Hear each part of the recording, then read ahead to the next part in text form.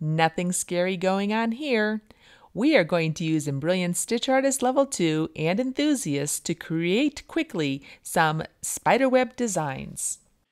The first thing I need to do is create the section that I want to repeat using the carousel of Enthusiast.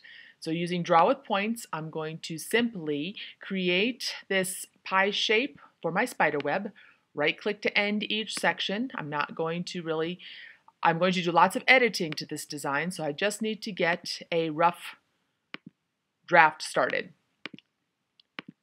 So I have my shape with my three lines, which are going to be part of my webs.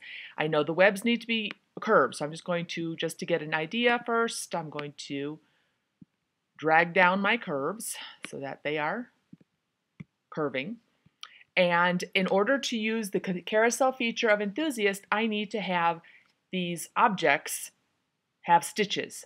Enthusiast works with stitches. So I'm going to have them all selected, go to run, and I'm setting them to a bean stitch. I'm not paying attention to jumps because I will all edit that later.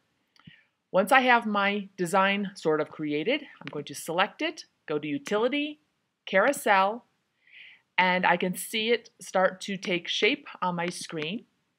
So I can create as many of these spires as I want. I'm going to rotate them so that they meet in the center. I'm going to change the size of my circle.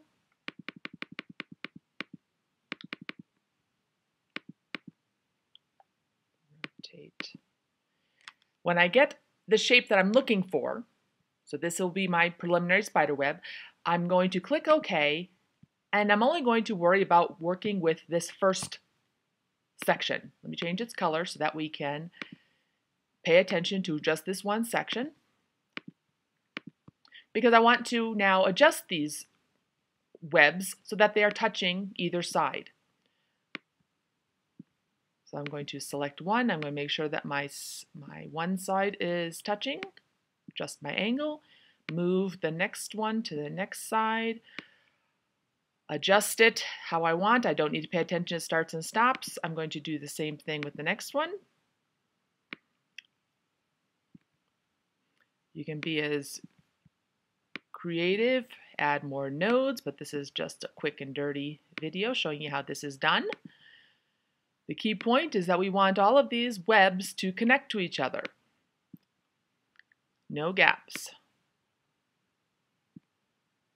Okay, so we have our one blue one that is set. So I'm going to delete the rest of them. I do not need to adjust them all. I can easily make them again. So while I have this one selected, let's zoom out to our hoop. I'm going to select my design, go to Utility, go to Carousel.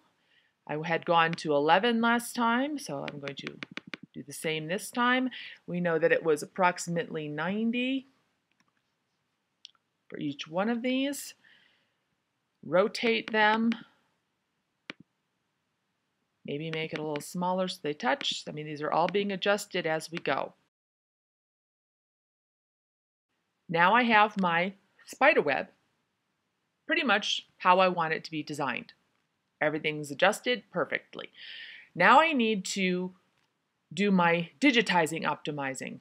So I'm going to select all of my designs by selecting them all in my object pane.